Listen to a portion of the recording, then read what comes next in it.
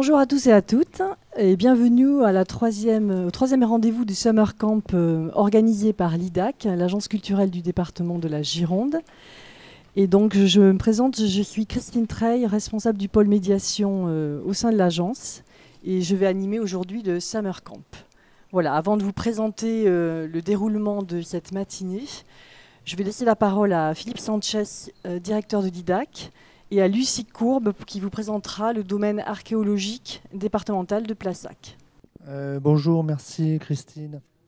Euh, oui, donc aujourd'hui on se retrouve au domaine départemental de la Villa Galormène de Plassac. Hein. Lucie, tu nous en diras un mot euh, pour nous présenter ceci. On a la chance, au travers des différents, différentes rencontres du Summer Camp, de pouvoir soit aller à la rencontre de nos partenaires sur le territoire girondin qui nous ont fait l'invitation de, de mener, de co-organiser avec nous ces rencontres qui ont été euh, euh, donc euh, imaginées, co-construites, portées par notre pôle ingénierie ressources à l'IDAC en réaction bien sûr à la crise sanitaire, hein, Covid, et les impacts qu'elle a sur le secteur culturel. et nous profitons de ces, donc, de ces rencontres Summercom pour soit aller dans les territoires girondins, à la rencontre donc, de communes, de comités de communes, de partenaires du territoire ou, alors de se rendre dans, dans des sites départementaux. Aujourd'hui, on, on connaît à Plassac, demain, on sera certes, hein, Christine.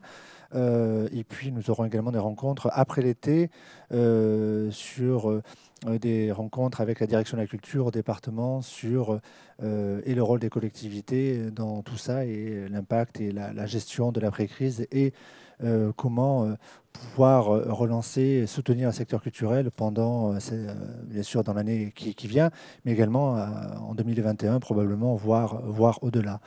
les rencontres sont construites sous un, format simple. Hein. Christine, tu en, tu en rediras un mot. Euh, ça nous permet, de, du fait que beaucoup de festivals ont été euh, annulés, de manifestations reportées, euh, et pour autant la communauté artistique et culturelle est présente, hein, en Gironde comme ailleurs, disponible.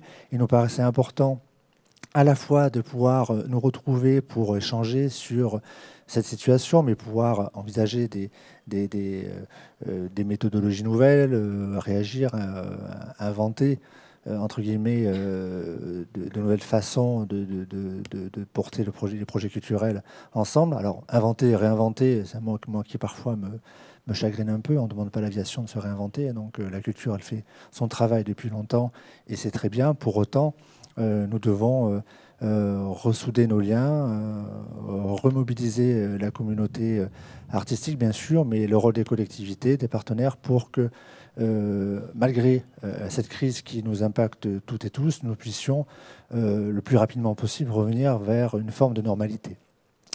Aujourd'hui, on est plutôt sur des problématiques de médiation, hein, notamment comment faire médiation auprès des, des, personnes les plus fragiles. donc, Christine et nos témoins vous en diront un mot. On, vous les présentera après. Euh, voilà rapidement ce que je voulais dire. Euh, Lucie, je te passe la parole pour nous parler de la Villa gallo-romaine, un hein, site départemental euh, qui est un site important, pas si connu que ça, je pense, même auprès des Girondins. Et ça vaut le coup de nous en dire un mot. Merci beaucoup. Oui, ben, on est ravis de vous accueillir donc sur le domaine départemental pour ce Summer Camp. Donc, il s'agit d'un site archéologique d'une villa gallo-romaine, euh, juste sur les bords de l'estuaire euh, derrière nous, qui a été occupée entre le 1er et le 5e siècle après Jésus-Christ, et qui a été euh, donc le site a été racheté par le département de la Gironde en 1984 et, de, restauré, notamment avec une grande campagne de restauration entre 2010 et 2014. Et on pourra les admirer tout à l'heure avec de très belles mosaïques gallo-romaines, notamment, qui ont été restaurées. Euh, on reçoit du public majoritairement. On est ouvert entre euh, mars et octobre. Bon, ben, cette année, avec euh, ce qui s'est passé, on a réouvert en juin. Et on reçoit principalement des scolaires, notamment dans le cadre de l'appel à projet collège, avec des ateliers mosaïques, des ateliers peinture, pour ce qui est de la médiation. Et sinon, après, avec le public touriste, le reste, le reste de l'année. Euh, depuis 2019, on a un nouveau euh, projet scientifique et culturel qui a été mis en place, avec notamment une reprise de la recherche scientifique en collaboration avec l'Institut Ozonius, euh, l'Université d'archéologie de Bordeaux-Montaigne. On, a aussi, on essaye aussi de développer une programmation culturelle sur le site, notamment avec des projections en plein air que, nous avons en collaboration avec l'IDA, qui nous prête d'ailleurs du matériel pour les animations.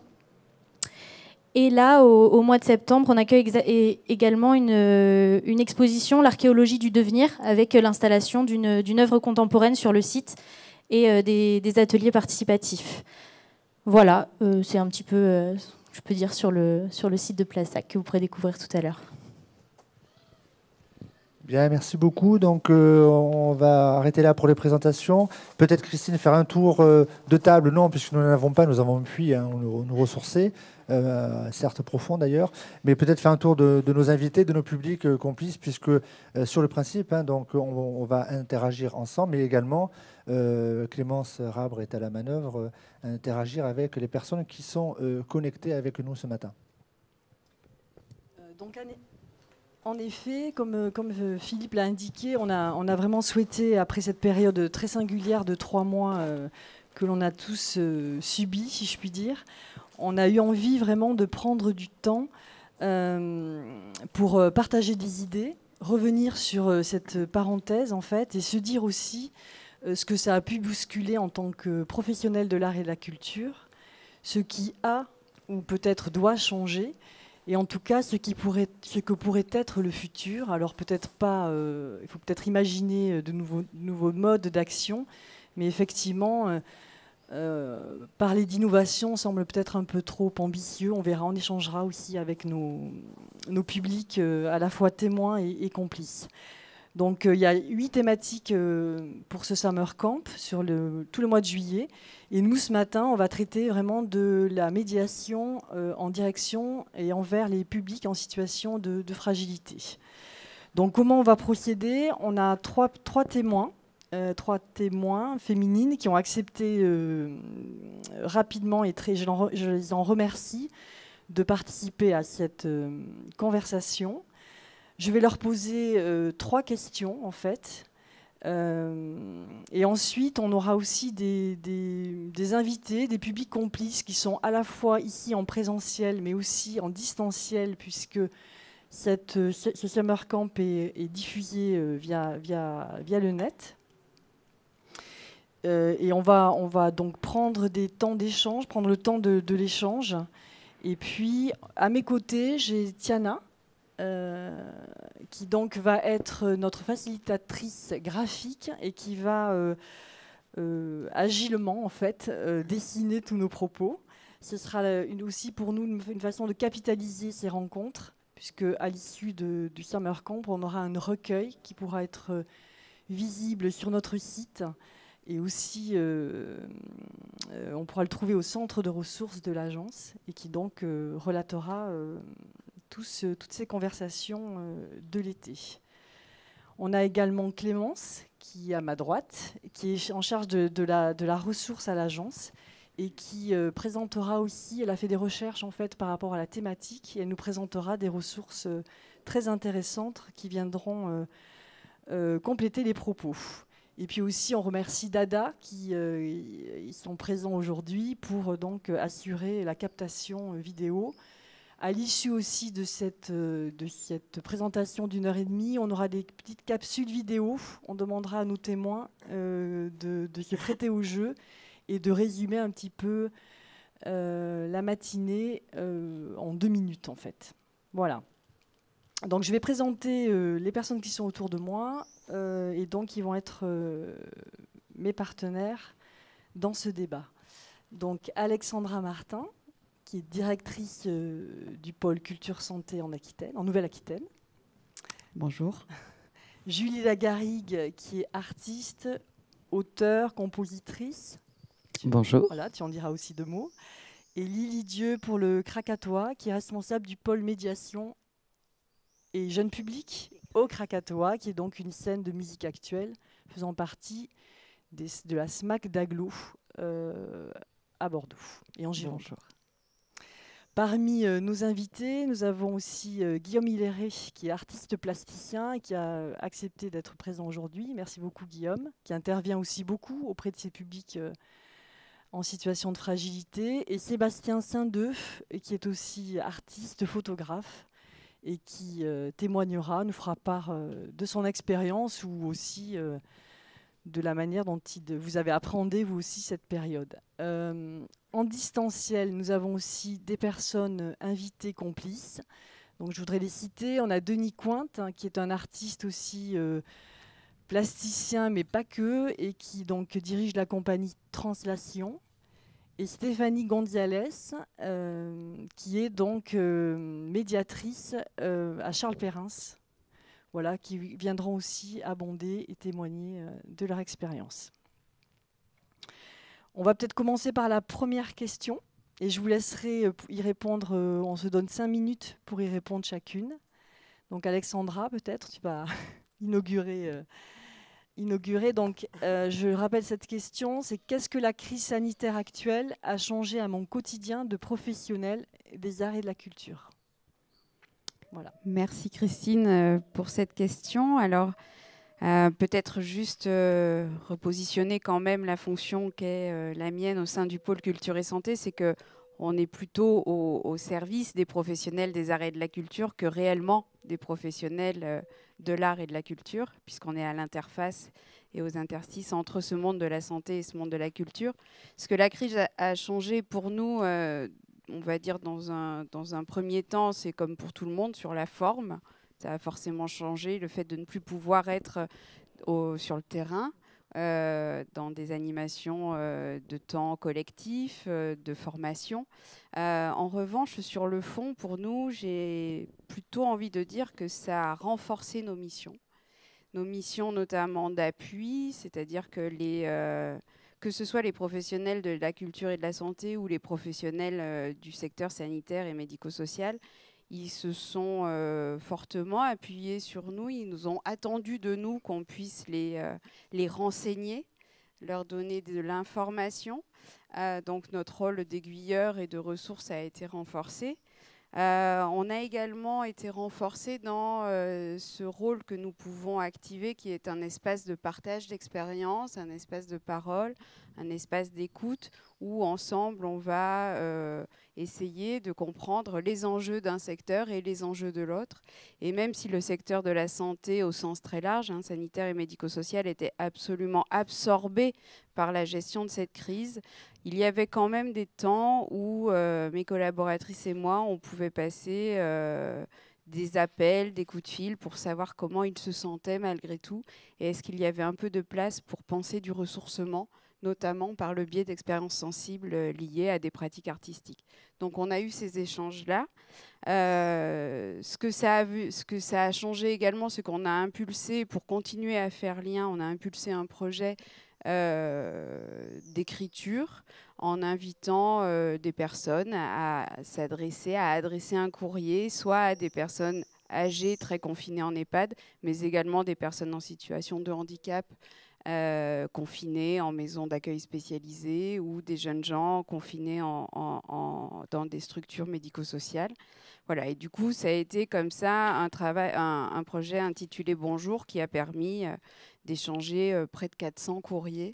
Donc c'était assez, assez intéressant sur une dizaine de structures de, de la Nouvelle-Aquitaine. Et puis au niveau de notre, de notre, de notre réseau national.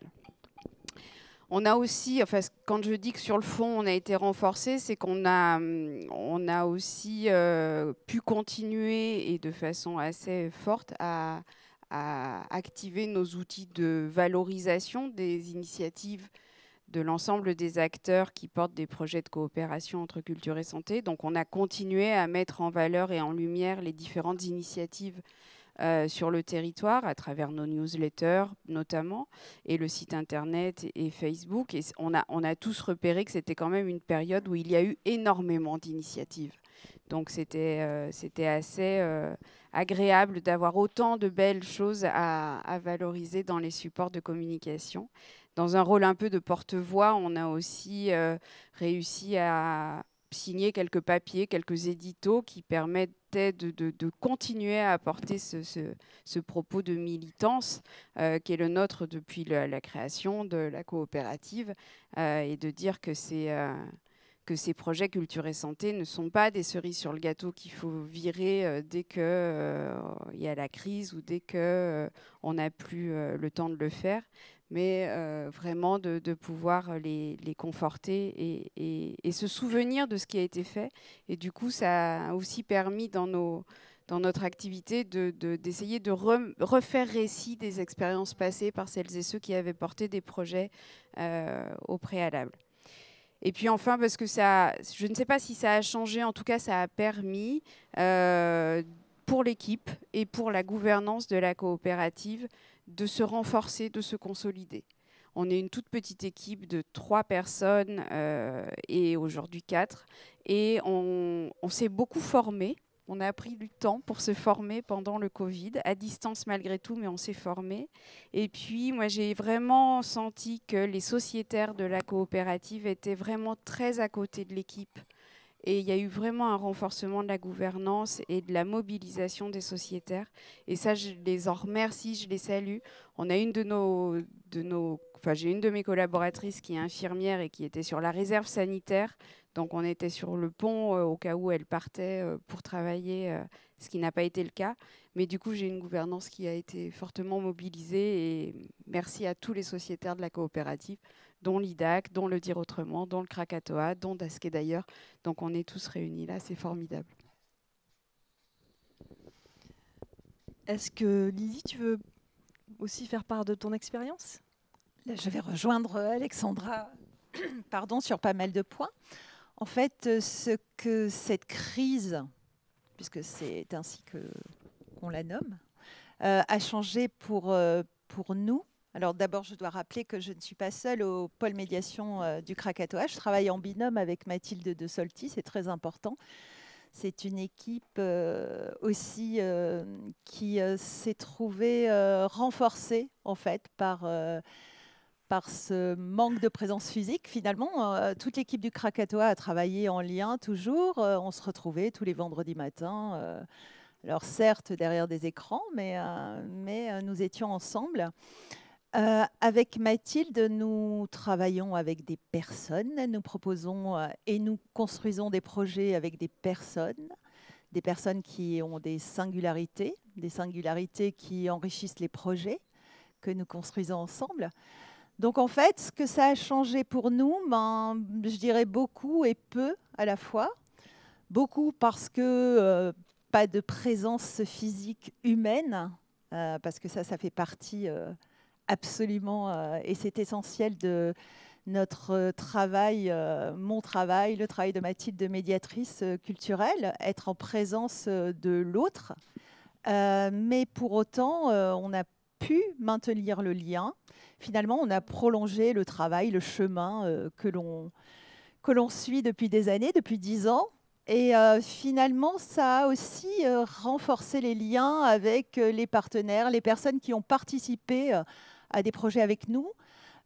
ou qui participaient vraiment, qui, puisque certains projets, notamment avec la MDS en lien avec l'IDAC de Mérignac, qui est un projet de territoire avec des habitants de Mérignac, des personnes euh, euh, qui sont accompagnées par le CADA euh, également. Et finalement, avec toutes ces personnes, les travailleurs sociaux, avec les artistes aussi, beaucoup, nous avons poursuivi le lien.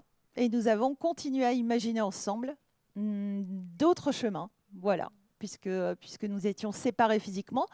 Mais finalement, ouais, euh, ça nous a renforcé, ça a renforcé ce groupe, par exemple. Pour ce qui est du, de nos actions au CHU, nous avons aussi euh, maintenu le lien avec les soignants. Là, il y avait vraiment un échange, euh, on s'appelait toutes les semaines, et avec Lucille Renaud, la médiatrice culturelle du CHU. Donc en fait, je te rejoins Alexandra, ça a finalement renforcé les liens et au sein de l'équipe déjà, avec nos partenaires, d'autres structures culturelles, avec euh, la SIC par exemple, beaucoup d'artistes, parce que nous avons été aussi... Euh, nous a beaucoup appelés, les artistes nous ont appelés, on les a accompagnés. Alors il y avait un, accompagnement, euh, je dirais, économique. En fait, il fallait les accompagner sur ce champ-là. Artistes, techniciens, c'était pas simple. On n'avait pas toujours les éléments euh, les infos euh, qui nous permettaient de le faire. Euh, de le faire très rapidement, mais pour autant on l'a fait. Et, et finalement, ouais, j'ai l'impression qu'on a trouvé d'autres chemins. En tout cas, on ne s'est pas précipité du tout. Euh, l'idée, par exemple, tu parlais voilà, des, propositions euh, sur les réseaux. Moi, je ne suis pas très, très à l'aise avec, euh, avec les réseaux, mais pour autant, on communique comme ça. Mais ce n'est pas, pas une communication, en fait, c'est un partage, c'est un espace d'inspiration. Et on a décidé de poursuivre ce que nous faisons avec Mathilde depuis toujours sur tous les projets. En fait, on a créé les blottis. Alors voilà, depuis nos maisons cocons, on s'est dit que blotti, dans blotti, il y a un peu de douceur. Hein. Euh, et, finalement, sans se précipiter, euh, nous avons un petit peu euh, essayé de voir ce que et d'aller rechercher dans les projets qui avaient été menés, puisque nous demandons aux artistes et aux partenaires, aux personnes qui participent à ces projets, de nous donner des petites. on fait une cueillette d'inspiration en fait. Voilà, c'est ça. Une collecte à chaque fois sur chaque projet. Et puis, nous avons euh, simplement échangé avec toutes ces personnes euh, sur euh, voilà, des sources d'inspiration à partager avec d'autres. et puis, ça, tout le monde a répondu.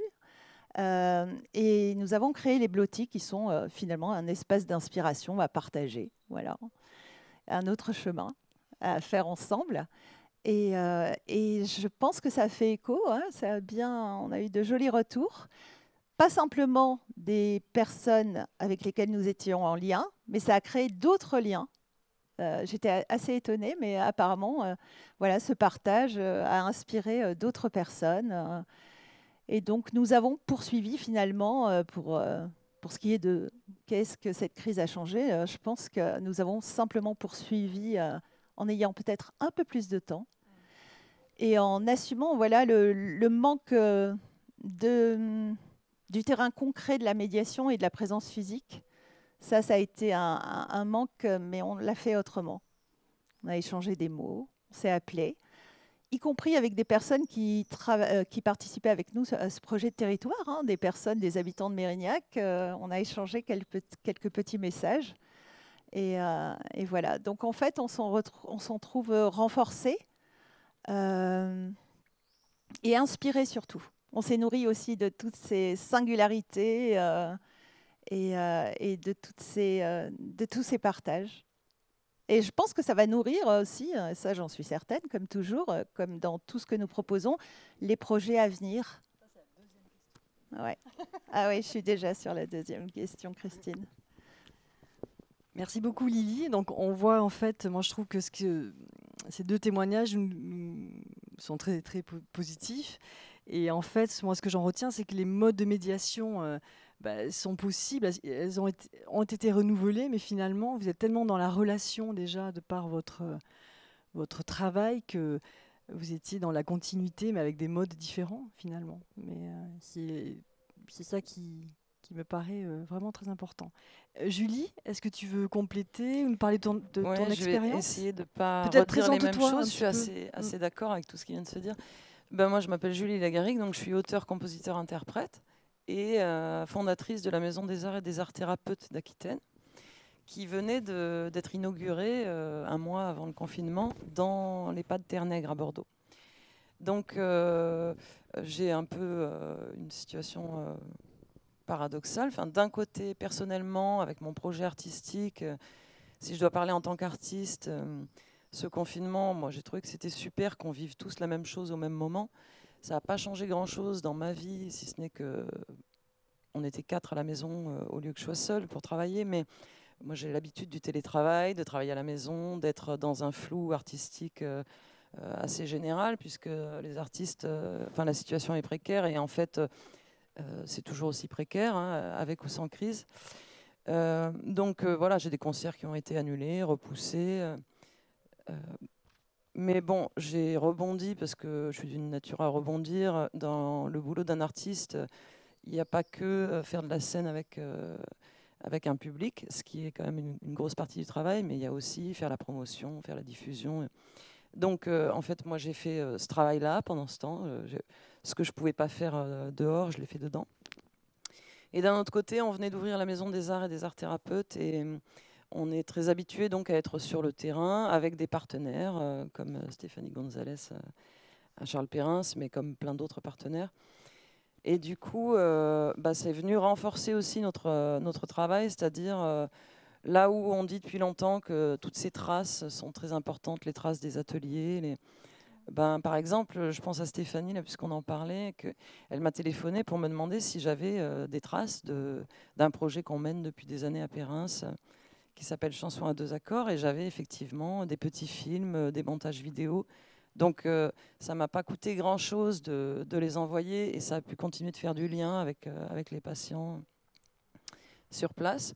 Et puis on a aussi rebondi, parce qu'on a beaucoup d'intervenants qui vont dans des EHPAD ou dans des centres ressources, et il se trouve qu'il bah, ne pouvait plus y aller.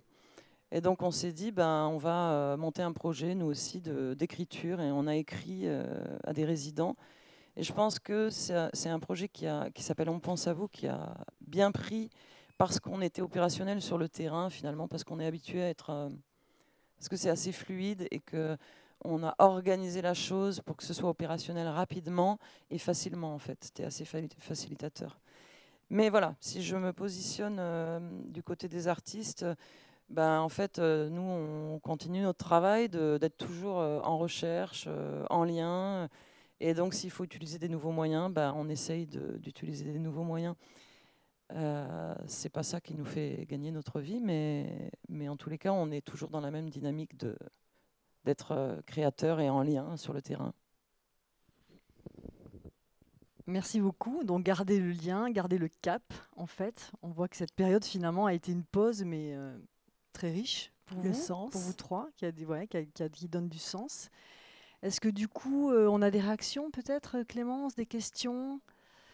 Euh, Peut-être Guillaume, Sébastien, vous voulez aussi réagir à ces témoignages, faire part de votre, votre expérience aussi d'artiste?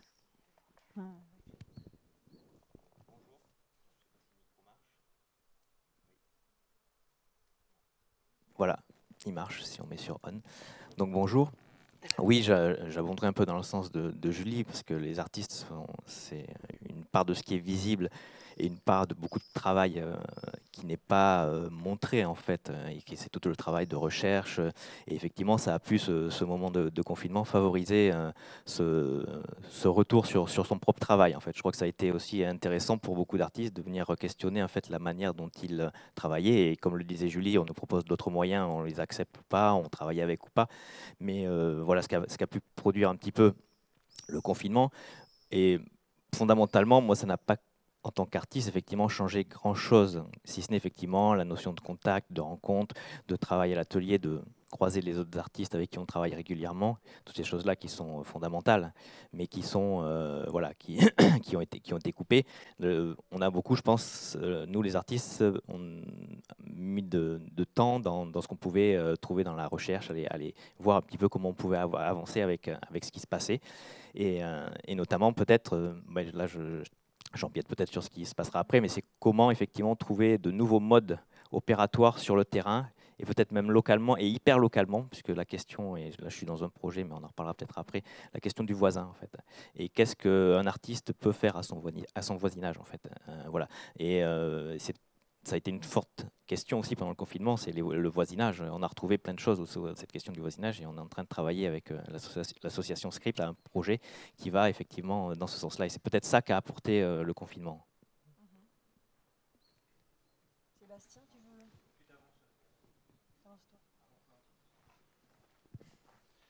bah, je ne vais pas ajouter grand-chose de, de, mieux que tout ce qui a été dit sur la question du lien effectivement, les artistes ont un peu l'habitude. Enfin, bon, moi, je suis photographe, donc je travaille chez moi et ça n'a absolument rien changé le premier mois. Le deuxième mois, c'est beaucoup plus compliqué en termes de précarité et de pas plus avoir de travail, mais ça, c'est une autre histoire. Ce qui m'intéresse, c'est le rapport à la citoyenneté. Euh, moi, je travaille avec des, jeunes mineurs isolés sur, euh, sur Villeneuve. Bon, peut-être qu'on aura l'occasion d'y revenir. Je leur ai fait travailler le rapport à la ville. Alors, du coup, c'était assez intéressant de, d'essayer d'appeler, euh, voilà, de proposer, euh, de, de, faire un projet sur ce, fameux kilomètre euh, restreint pendant, leur, pendant le confinement. Bon, malheureusement, ça n'a pas pu se faire parce que bah, les travailleurs sociaux, je pense, avaient d'autres chats à fouetter. Et que bah, la priorité, c'était pas forcément l'artistique en fait, c'était juste d'essayer de maintenir une cohabitation dans la, la, MEX, donc la maison à l'enfance à caractère social. Il y a l'envie de le faire, après il y a la difficulté de la question des moyens, et puis d'arriver à maintenir ce lien, mais ça montre aussi la, question fondamentale, c'est-à-dire la nécessité d'être ensemble, de partager, et ça, c'était pas possible. Ça va peut-être le revenir de façon, mais avec une machine au ralenti, voilà. Et euh, bah, le rapport au temps est plus le même. Alors pour un photographe, le rapport au temps, c'est assez euh, intéressant. Moi, j'ai fait des petits ateliers de, de sténopée avec ma fille, qui sont les ateliers de sténopée que je fais aussi avec les, les jeunes avec qui je travaille. Voilà, donc euh, bah, ça m'a maintenu ce lien-là, voilà, avec avec avec ma fille. Ça, c'était plutôt chouette. Mais après, bon, il y a plein de, il y a plein de questionnements, euh, de, voilà. Mais bon, beaucoup de choses ont été dites, donc je ne vais pas.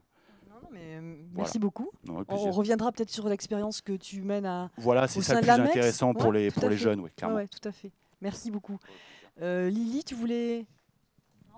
C'était justement, justement questionner les artistes sur ce temps autre. Est-ce que, est que vous avez continué à créer? Est-ce que ça vous a entravé dans, dans votre démarche, justement. C'est intéressant, ça, parce que...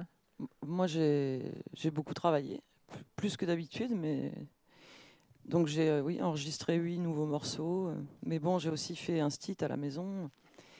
Mais euh, là où, en fait, j'ai eu beaucoup de plaisir, parce qu'en fait, ça n'a pas changé, je travaille toujours, donc j'ai travaillé toujours comme d'habitude, mais ce que, ce que ça a changé pour moi et qui était plutôt positif, c'est que je me suis dit que là, on était tous dans le même bateau. Et je pense que autour de moi, ça, beaucoup de gens ont plus paniqué parce que ça change réellement leur quotidien. Alors que c'est vrai que nous, les artistes, euh, c'est notre quotidien, en fait, de, bah de, quand on se lève, de, de se dire, bon, euh, je continue, euh, on ne vient pas répondre à des questions extérieures, finalement on est dans un travail et on continue notre travail. Même si le monde est tout à l'arrêt autour? Eh ben, c'était pas à l'arrêt en fait, parce que c'était le printemps, on, avait des oiseaux, on avait du silence. En fait, on avait tout pour être inspiré en fait. Il y avait moins de bruit, je dirais, et du coup, on était euh, bien plus en phase pour être inspiré, je crois. Du coup, est-ce que Clémence, on a des, questionnements?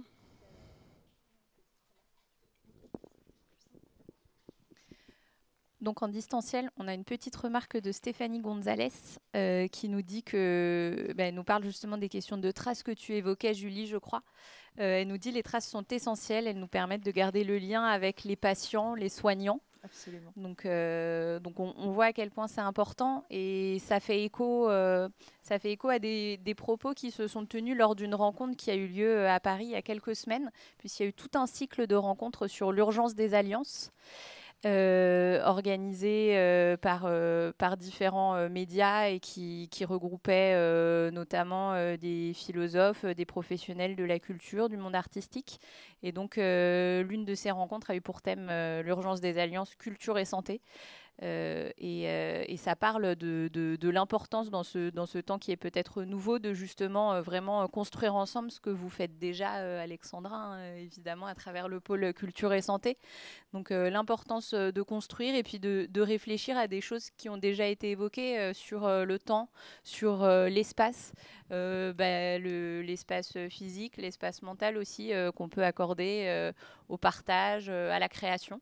Donc je vous remettrai le, lien vers, euh, cette vidéo qui est disponible en ligne euh, pour, euh, pour visionner l'intégralité de cette rencontre si vous le souhaitez. Merci Clémence. donc je trouve qu'on a déjà un peu répondu à la deuxième question finalement, parce qu'on a vu, on a, ce qu'on a entendu, c'est que vous avez fait preuve très rapidement d'initiative et de créativité en fait je trouve. Mais est-ce qu'on peut quand malgré tout y revenir et puis peut-être donner des exemples finalement très concrets de ce que vous avez euh, proposé ou est-ce que finalement vous aimeriez peut-être euh, continuer ou ce que j'aimerais bien aussi ah, Ce que j'aimerais aussi peut-être c'est qu'on parle aussi de ce qui a été malgré tout complexe, compliqué voilà, peut-être anxiogène aussi, je ne sais pas, dans cette période. Une, question et puis. On a un petit euh, témoignage supplémentaire qui est arrivé pendant que je vous parlais de Denis Cointe, euh, qui nous fait remarquer euh, un risque serait de demander aux artistes de compenser cette distanciation entre les êtres. La pandémie est la conséquence de choix politiques. ne pas répondre à l'urgence, mais continuer à créer des espaces de liberté, d'émancipation et de réel partage d'expériences esthétiques dans le corps à corps. Donc effectivement, oui, la, question bah, de la position de l'artiste et euh, qui va aussi avec des questions qui ont été évoquées euh, hier, où on a parlé de, bah, de la place de l'artiste dans la société et de l'importance qu'on lui, qu'on lui accordait ou non. Donc euh, voilà ce, ce, point de vigilance qui a été relevé par Denis Cointe. Merci beaucoup. Donc Alexandra, tu veux Oui, je veux bien. Moi, je veux bien enchaîner euh, sur le, comment on répond, puisque je crois que c'était la deuxième question. Mais avant, je veux bien rebondir sur euh, la remarque de Stéphanie euh, et, enfin, que, Clémence nous, dont, Clémence nous fait part.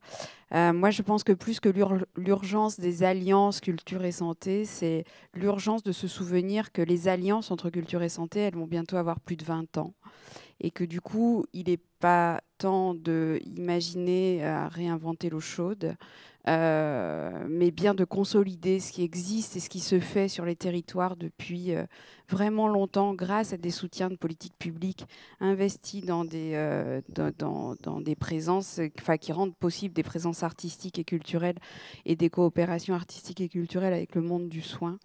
Et que du coup, s'il y a une chose, moi, qui m'a un peu euh, inquiétée, c'est que euh, ces acteurs de la médiation, ces acteurs que nous sommes tous, euh, on n'a peut-être pas les mêmes canaux de visibilité que certains autres acteurs qui euh, peuvent être sur euh, les radars de, grands médias nationaux.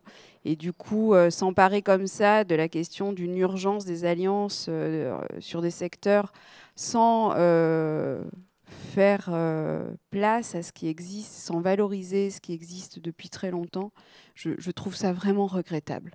Voilà, je le dis avec un peu de militance, mais euh, ne balayons pas d'un revers de main euh, ce qui se construit et ce qui met du temps à se construire depuis très longtemps euh, entre des acteurs de la culture, de la santé et d'autres secteurs de l'éducation, du, monde carcéral, du monde social. Enfin voilà, tout ça existe et s'il y a bien une manière, à mon avis, dont nous devons nous, nous, solidariser et nous saisir pour répondre à cette crise, c'est de ne pas oublier de rappeler ce que l'on fait et comment on le fait et pourquoi on le fait, et ce depuis euh, déjà bien longtemps. Alors ça fait un peu euh, la, vieux de la vieille qui essaye de, de, de, s'agiter et d'être encore vivante, mais je vous assure que enfin, voilà, ça, ça, existe, et grâce à des politiques publiques. Enfin, voilà, c'est pas seulement des initiatives euh, du terrain, hein, c'est des initiatives des acteurs du territoire, mais qui sont rendues possibles par des volontés politiques sur les territoires. Donc voilà, j'avais, besoin de dire ça. Comment on répond Je rejoins aussi euh, Lily. C'est on, répond sans se précipiter, et c'est, la continuité de ce que de ce que je viens de dire. C'est euh, alors sans se précipiter, c'est peut-être un peu facile euh, pour une structure comme le pôle culture et santé. On a quelque part, on a les, les moyens de prendre du temps on a des moyens de prendre du temps parce qu'on a des, soutiens euh, par l'Europe, on a des soutiens par euh, les pouvoirs publics. Et du coup, on n'est pas à la course à la presta pour pouvoir euh, payer les salaires en fin de mois. bien sûr, il faut faire aussi de, des actions qui font diversifier l'économie de, la, coopérative, mais cette, cette assise que l'on peut avoir grâce à des financements publics, nous permet de prendre le temps de euh, construire euh, des, euh, des, manières de, de, penser la suite pour celles et ceux qui, qui, pour le coup, ont besoin de faire rentrer des finances chaque mois. Donc voilà, moi j'ai la manière aussi dont le pôle s'est emparé de la, question, c'est de se dire le pôle c'est en Nouvelle-Aquitaine, mais on a des homologues en Île-de-France, en Auvergne-Rhône-Alpes, en Occitanie, dans le Grand Est. Et du coup, ben, là, ce qu'on s'est dit, c'est qu'il fallait vraiment qu'on active ce réseau national qu'on a qu'on a baptisé Entre là. Euh, et du coup, ensemble, la manière aussi de répondre, ça a été de signer une tribune tous à plusieurs mains pour dire justement que sur la plupart des territoires français, eh bien, ces initiatives entre culture et santé, du côté de la médiation, elles existent, elles existent depuis des années et que du coup, euh, il faut qu'on fasse euh, mieux connaître et mieux entendre ça.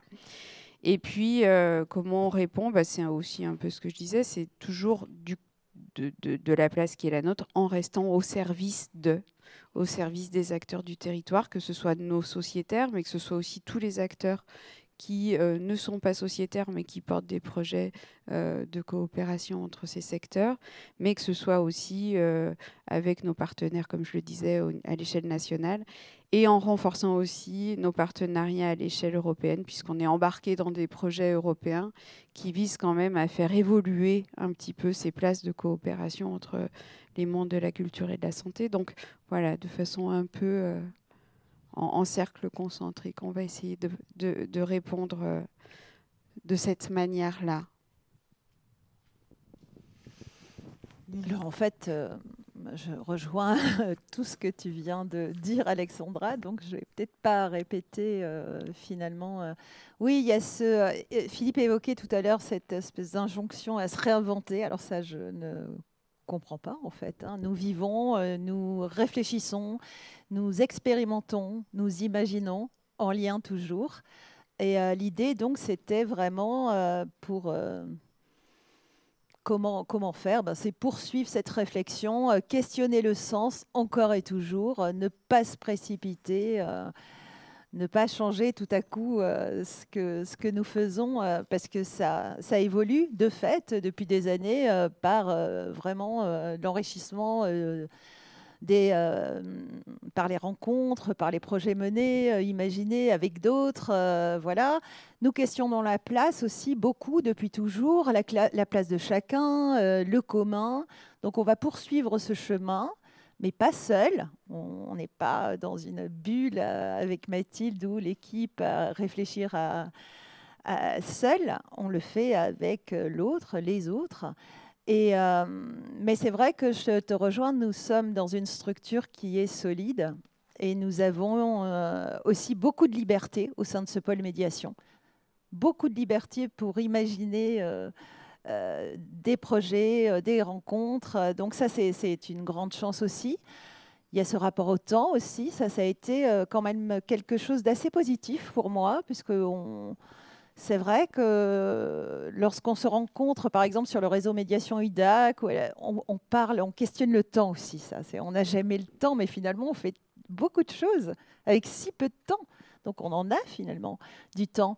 Euh, pour moi, ça a, été, très important, ce rapport au temps. Et euh, j'ai l'impression que je me suis, euh, sans changer fondamentalement, quelque part, puisque le professionnel, évidemment, euh, le personnel bouscule le professionnel, puisqu'on a tous vécu euh, cette crise euh, voilà, du jour au lendemain. enfin, ça s'annonçait un petit peu, mais ce confinement, voilà, que fait-on Que fait-on de ce nouvel espace J'étais très, très inspirée par les enfants. J'ai lu un article sur les enfants qui faisaient des cabanes dans leur maison au moment du confinement et j'ai trouvé ça très juste en fait de trouver ton espace dans ce dans cet espace réduit restreint et, en fait c'est ça peut-être cette cabane ben, on fait ça elle est en lien avec le monde et en même temps euh, c'est un espace voilà de de réflexion de liberté aussi et, euh, d'expérimentation donc, euh, poursuivre, je n'ai pas de nouveaux outils en fait. Hein. Je vais poursuivre cette réflexion, m'inspirer des artistes, le lien toujours avec eux parce que vraiment ils nous donnent de la nourriture qui nous permet d'avancer aussi. Non, mais c'est vrai, c'est euh, et puis découvrir, euh, être curieux toujours, voilà. Juste, j'aurais pour faire écho à ce que vous dites, j'avais envie de reprendre les propos de Anne-Cécile Paredes qui nous euh, qui devait être présente aussi aujourd'hui, mais malheureusement n'a pas pu, et qui, je trouve, résume euh, pas mal aussi ce qu'on vient de se dire, à sa manière. Quand elle a indiqué, en fait, le 17 mars, tout s'est arrêté. Euh, en fait, on n'allait pas ressortir de ce temps bousculé comme on rentre de colonie de vacances, avec un petit cafard et un peu effrayé de reprendre le cours de la vie. Les questions allaient être plus épaisses. Comment j'allais imaginer mon métier? Quelles histoires j'allais écrire dans ce monde? Il ressemble à quoi d'ailleurs ce monde? Qu'est-ce que je suis prête à accepter pour absolument créer, travailler, manger? Je n'ai pas mon BAFA et d'ailleurs c'est un autre métier. Je veux bien inventer, mais pas euh, pour euh, sous l'injonction du politique. Aujourd'hui, inventer quoi et pour qui? Et puis, avant de changer, il va falloir terminer. Je trouvais que c'était assez. Euh, Là, je suis tout à fait d'accord. Nous, nous, en avons parlé avec Alexandra et puis avec toi et puis avec d'autres. Voilà, c'était aussi. Tu, passais, tu parlais de ce qu'est la médiation et toujours. voilà, la, la, médiation culturelle, ça n'est pas de l'animation, c'est un autre métier. Et en fait, quand on, j'ai eu quelques appels pour, voilà, proposer des artistes pour occuper des enfants entre 6 et 10 ans 15 enfants entre 6 et 10 ans. Euh, j'étais, en colère en fait, hein, parce que, mais euh, ça suppose donc finalement de rappeler sans cesse ce qu'est euh, un artiste, ce qu'est un projet de médiation, ce que nous faisons depuis des années en fait, hein. des années. Bah là, il faut que je rebondisse. Euh, je, trouve très très intéressant tout ça. Alors du coup là, je me mets dans la peau de l'association. Euh, nous, on est une petite association avec la Maison des Arts et des Arts Thérapeutes. Et, euh, et nous, on avait un loyer, on s'engageait sur un loyer, et paf, comment on allait payer notre loyer puisqu'on est installé dans un EHPAD, qu'on ne peut plus animer d'atelier. Donc euh, on aurait pu aussi réagir dans l'urgence, euh, ça aurait servi à rien puisque de toute façon on ne pouvait plus rien faire. Mais, euh, mais c'est intéressant ce sujet-là parce que c'est vrai que souvent, je dis, avant les artistes ils avaient des subventions pour le travail qu'ils proposaient. Maintenant il y a des appels à projets et il faut rentrer dans les appels à projets, donc répondre, c'est ce que disait Anne-Cécile, à une initiative souvent amené par un politique. Donc euh, ça change un peu le, sens du travail. Toujours est-il qu'avec le dire autrement, on a monté euh, ce projet On pense à vous, et du coup peut-être que je peux raconter un tout petit peu le, concret de comment on s'est organisé. Euh, ma collègue Nolwenn, qui travaille en EHPAD, donc, ne pouvait plus aller travailler et m'a tout de suite fait part de leur problématique de ce qu'on appelle le phénomène de glissement, c'est-à-dire qu'un senior isolé euh, on ne savait pas si c'était pire qu'il soit fermé dans sa chambre et qu'il ne voit plus personne, ou si c'était pire qu'il attrape le Covid finalement, parce que dans les deux cas, euh, il y avait ce phénomène de glissement qui était euh, dangereux.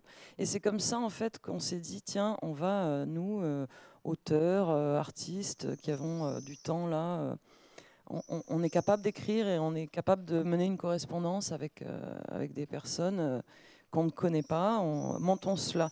En fait, on avait déjà euh, mis en œuvre des projets du genre euh, de, correspondance épistolaire, donc on, avait déjà une expérience de ça. Et donc on s'est retrouvé en 3-4 jours, 33 rédacteurs. Euh, on a écrit une charte pour que les rédactions soient et personnelles et venant du cœur et en même temps optimistes. Il ne fallait pas non plus envoyer des lettres déprimantes. Et surtout, on s'est dit que pour que ce soit opérationnel, il fallait que dans chaque euh, EHPAD ou centre ressources, euh, on ait une personne qui, puisse nous dire ben moi, je vais recevoir les lettres et je vais les imprimer et je vais les distribuer. Donc, euh, on s'est retrouvé avec une soixantaine d'EHPAD et de centres ressources de, la côte basque jusqu'à la Bretagne qui se sont inscrits au projet. Et euh, c'est beaucoup, ça a pris très très vite. Et donc ensuite on a monté une petite bouture de, ce projet qui s'appelle On pense à vous. Qui, la bouture s'appelle le, Peuple des Fées, qui a été montée par des auteurs qui faisaient partie des rédacteurs euh, de On pense à vous et qui travaillaient en MEX et qui se sont dit mais on va aussi écrire pour les enfants en MEX, donc on va travailler sur le Peuple des Fées, les fées confinés euh, qui écrivent. Et je voudrais juste te dire, donc c'était une très belle aventure et, tant mieux. Donc on a fait 10 envois, il y a eu je sais pas combien, 200 lettres. c'était très très beau. Alors au début on s'est dit, c'est super pour les seniors qui reçoivent les lettres. On avait des retours des soignants euh, qui disaient à Monsieur Machin vous a répondu. On, avait même des réponses. Du coup, on se retrouvait à devoir répondre aux réponses. Et puis ensuite, on s'est dit mais en fait, c'est super pour les pour les infirmiers, pour les accompagnants euh, qui lisent les lettres pour certains parce qu'ils ont euh, de l'arrivage du, du, sang neuf de l'extérieur et puis quelque part ça leur fait de l'encouragement parce qu'une lettre par exemple le raconter avec une photo d'un café chaud fumant euh, je m'assois à la table et je bois un café avec vous, je pense à, je vois les arbres. Et du coup, euh, la personne qui lit et, et la personne qui reçoit la lettre, les deux finalement euh, étaient lectrices et, partageaient ce moment avec le rédacteur. Et puis avec le temps, parce que c'était donc un envoi par semaine, on s'est rendu compte que les, les, rédacteurs, ça leur faisait aussi beaucoup de bien, parce que ça nous a maintenus dans un travail, dans une correspondance entre artistes, entre rédacteurs, il fallait quand même, euh, c'était de l'organisation. Euh, et puis, de, bah, c'était pas toutes les semaines qu'on avait envie d'écrire une lettre positive euh, à quelqu'un qu'on. Il y a eu des moments quand même où on avait des contre-coups, même nous, les artistes habitués à vivre cette solitude, il y avait des moments où on se disait, bon, c'est un peu lourdingue. Et donc, il fallait quand même se mettre dans ce dans ce, certain savoir-faire qu'on est censé avoir expérimenté déjà depuis longtemps, de se poser à une table et euh, je veux dire, on écrit, moi j'écris des chansons, euh, j'écris pas que quand ça va mal ou que quand ça va bien. J'écris parce que il faut, c'est un exercice quoi. Donc ça nous a maintenus dans un exercice et, euh, un travail de collaboration entre artistes en lien avec toutes ces institutions qui recevaient, qui nous renvoyaient, qui nous remerciaient, etc. Et donc finalement, ça a été positif pour euh, tous les acteurs de cette expérience. Voilà. Merci beaucoup. Est-ce qu'on a des, questions? Je te passe le micro. Euh, donc on a des réactions en ligne. Euh, on a euh, Stéphanie Gonzalez du centre hospitalier Charles Perrins qui dit aujourd'hui à Charles Perrins, la question est comment démarrer à nouveau les ateliers artistiques avec les protocoles sanitaires exigeants, l'envie véritable de se retrouver, protéger les uns et les autres? Bon, ça on imagine que forcément hein, c'est des questions qui se posent. On le voit là, on est nous dans un contexte où on essaye euh, de, respecter au maximum euh, une, distanciation aussi, euh, tout en n'étant pas déjà en, contexte hospitalier. Donc on peut imaginer que, ça complique les choses, évidemment. Et puis... Stéphanie, qui, comme d'autres personnes, remercie Alexandra pour tout ce que tu as dit tout à l'heure sur, sur l'importance de, de, continuer à construire les partenariats et à reconnaître aussi tout ce qui se fait déjà. Voilà. Euh, et puis, euh, on a une question aussi de, Céline Monetti de Bibliogironde, de Bibliogironde euh, qui s'adresse plutôt aux artistes, qui demande si le lien avec les institutions ou les opérateurs des projets en tant qu'interlocuteur a manqué aux artistes pendant le confinement. Par exemple, pour réfléchir sur le lien avec les publics, sur la poursuite des projets en cours, et puis bah, réfléchir ensemble à l'après. Voilà, c'est une question, c'est une question qu'elle se pose. Peut-être Peut-être que certains d'entre vous peuvent y répondre.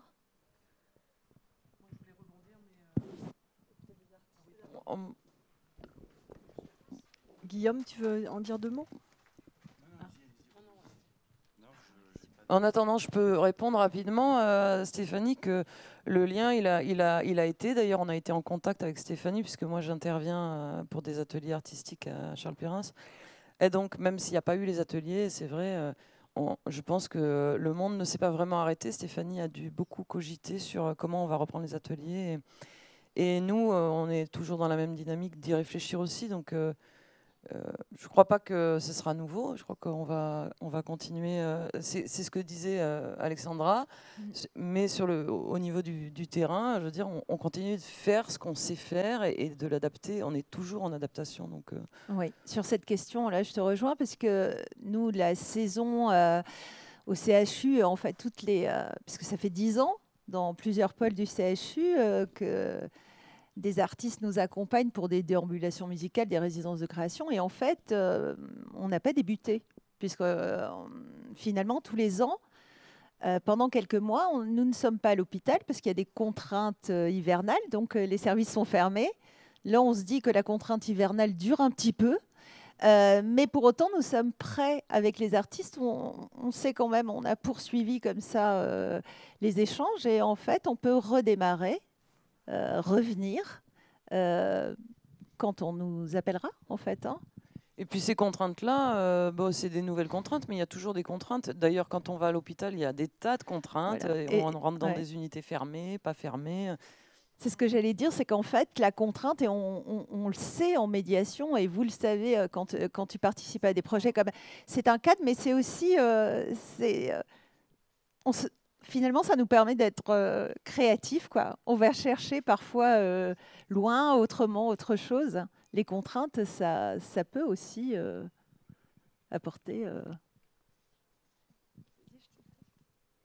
Bah, peut-être juste pour, euh, pour Stéphanie, mais pas que pour elle. Euh, mais quand on connaît un peu le cadre euh, du centre hospitalier Charles Perrin, il y a un extérieur qui est absolument magnifique sur le site en tout cas de l'abbé Chade à Bordeaux. Et, et peut-être qu'il faut avoir l'audace de faire rentrer les artistes à l'extérieur. C'est-à-dire qu'on les fait rentrer dans l'enceinte de l'établissement, mais par contre, on euh, crée des opportunités et des moments de euh, présence artistique euh, qui sont à l'extérieur et qui, du coup, permettent de plus facilement prévenir les gestes barrières. Alors, c'est pas facile avec toutes les disciplines artistiques, mais peut-être que ça peut être euh, une des pistes. Je pense à ça parce que nous, on a été sollicités par hum, la Fédération des cercles de Gascogne euh, dans les Landes, enfin sur le territoire du, Parc naturel régional des Landes de Gascogne, parce que cette Fédération des cercles euh, assure une programmation de concerts toute l'année dans les cercles, et bien évidemment avec le Covid ils ont dû euh, interrompre ça. Et en fait, sociologiquement, sur ce territoire, chaque fois qu'il y a un cercle, il y a un EHPAD. C'est euh, très euh, marqué. Donc, ils se sont tournés vers le pôle culture santé en disant ben, en fait, est-ce qu'on ne pourrait pas imaginer, à l'heure où on peut ressortir de la maison, de faire des cercles dans les jardins des EHPAD pour justement permettre à ces artistes qui avaient des contrats de session pour des concerts dans les cercles de les maintenir on les déplace juste dans euh, le, calendrier, et de permettre du coup aux professionnels et aux, personnes qui sont hébergées dans les EHPAD de bénéficier malgré tout d'un temps euh, musical. Et du coup, on a organisé là, en partenariat avec la Fédé des Cercles, des concerts en EHPAD sur tout l'été. Donc, c'est des, des, des, agilités qui font qu'on ne change pas nos manières de faire, on s'ajuste simplement à euh, ce contexte qui nous entrave parce qu'on ne peut pas être dans une salle à plus de tant de personnes. Ou, euh, Mais je pense qu'il y a des solutions, il faut, il, faut, il faut rester optimiste sur le fait que et les artistes et euh, les, les, personnels dans, dans, dans, dans, les établissements de soins ont envie de continuer à faire des choses ensemble et, et ont envie de trouver les bonnes solutions. Je crois qu'on avait une question. Oui, enfin c'était plutôt une réaction. Donc bonjour, c'est Diahad, je suis directrice d'une association euh, sociale à Saint-Pierre-et-Miquelon. Donc je partage ma vie entre la métropole et là-bas. Et donc euh, le, et euh, nous sommes plutôt spécialisés dans l'accompagnement des victimes qui subissent des violences conjugales et intrafamiliales. Donc autant vous dire que le confinement a été extrêmement difficile, comme à travers la métropole. Je voulais juste réagir parce qu'Alexandra parlait d'histoire et je, je trouve que c'est important de ne pas oublier l'histoire. La médiation est un jeune métier. Moi, je fais partie des vieilles euh, qui ont passé le DEFA et qui ont toujours fait le lien entre le social et le culturel. Et du coup, cette porosité, euh, j'ai fait le choix de, ce, de, ce, de cet entre-deux parce que pour moi, on ne peut pas être que dans la culture. Ou, euh, mais ça, c'est mon parcours qui fait ça. Et c'est ce qui fait que j'ai pu à chaque fois travailler avec les personnes les plus éloignées de la culture et de leur permettre cet accès. Donc l'occupationnel, effectivement, certains euh, certains parlent de ça, mais c'est quand même un métier, même quand on est dans le BAFA, ça veut dire qu'ils n'ont pas donné du sens à leur travail.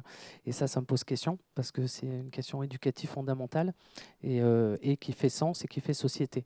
Donc je voulais réagir par rapport à ça, puisque dans l'histoire, j'ai eu la chance de travailler en lycée agricole, et le milieu rural, a, euh, très très tôt, il y a plus de 50 ans, a travaillé ces questions-là autour de la culture et l'accès à la culture. Et il y a même une matière qui s'appelle socioculturelle qui permet ces rapprochements. Donc le, fait de ne pas oublier d'où on vient ou de, qu'est-ce qui fait sens dans notre vie, euh, même si on dans le parcours artistique et, euh, la, quand on percute l'autre et qui vient nourrir sa matière artistique, je trouve que c'est important de bien, de, bien le remettre à sa place. Voilà, donc, parce que les clichés ont, la vie dure, mais la médiation, c'était une tâche pour nous et c'est devenu un métier et je m'en félicite parce que il y a cette vocation à, ouvrir, à développer. Mais euh, donc euh, c'était la petite réaction. Et puis euh, dire que le confinement, pour nous, nous a posé beaucoup de problèmes, puisqu'on a des ateliers d'art-thérapie. L'OMS a enfin reconnu l'art-thérapie comme faisant partie intégrante du parcours global des personnes qui, qui sont les plus éloignées, et notamment dans, le, dans la santé, dans la reconstruction, la réparation, ou l'envie de sortir de ce, de, cet état. Du coup, euh, ça, a posé beaucoup de questions. Donc, euh, mais on a inventé des choses, mais c'est après. Donc voilà, c'est une petite réaction. Merci. Est-ce que vous avez envie de réagir, Sébastien ou Guillaume, aux propos? Oui, je voulais, revenir sur cette question, euh, ou ces, injonctions en fait à, faire des choses dans l'urgence. Et on a tous euh, dit effectivement que, ce n'était pas notre vocation et euh, je crois qu'il est, il est euh, primordial maintenant, si, si le, confinement n'a pas changé fondamentalement en fait, le travail des artistes, il faut qu'après, fondamentalement, le regard sur comment les artistes peuvent intervenir dans le milieu social, dans la société, peut changer en fait, peut changer ce qui s'y passe. Et je crois qu'il est très intéressant de mettre en avant c'est, la temporalité que les artistes devrait avoir pour pouvoir vraiment euh, intervenir sur un territoire, sur un lieu, sur et euh, arrêter de travailler euh, dans des questions de one shot en fait et proposer de travailler avec des artistes sur des temps longs, c'est-à-dire rentrer dans, des, dans des protocoles de convention qui permettent aux artistes de s'investir sur un territoire, un lieu avec des personnes pour des rencontres sur deux, trois années on est là dans des, questions qui sont fondamentales, je trouve, sur euh, la manière dont on va aussi euh, mettre en avant ce que peut apporter un artiste sur un territoire, avec des gens, sur cette relation longue. Parce qu'on n'envisage pas un projet artistique en tant qu'artiste quand on nous demande de travailler un mois euh, en résidence, de produire une exposition, que quand on va être trois ans sur un territoire, qu'on va rencontrer des gens, qu'il va se passer quelque chose dans le fond, dans le fond des choses en fait, dans le fond de ce que que l'artiste va pouvoir déclencher en fait. Le problème c'est voilà, l'artiste il est là, c'est un déclencheur. Moi je me je me, je me, sens un déclencheur de quelque chose chez les autres, sur des lieux, sur, dans des espaces. Euh, dans, voilà. Et je laisse cette part aller après aussi. Donc, et pour, ça, il faut absolument qu'on ait un temps, un temps. Et je crois que la, responsabilité des collectivités territoriales maintenant, c'est de travailler en fait à ce que les artistes puissent intervenir sur des partenariats de long terme. Et euh, voilà, je voulais vraiment mettre le point là-dessus. Et si on veut que quelque chose change, c'est ça qu'il faut absolument que euh, les, collectivités comprennent. Et effectivement, le politique, en gros. Et euh, je voulais juste revenir aussi par, rapport au aux relations que les artistes pouvaient avoir euh, avec les structures avec lesquelles ils travaillent. Comme, l'a dit euh, Julie, on a beaucoup échangé sur les projets qui étaient en cours, les projets et toutes les structures avec qui travaillent les artistes, ils sont, ils sont conscients en fait de, de, ce qu'apportent les artistes. Donc ils, nous ont soutenus, ils savent qu'on va pouvoir refaire des choses, ils, ils veulent faire refaire des choses. Et c'est effectivement au niveau du politique qu'il faut qu'il y ait cette prise de conscience là. Voilà.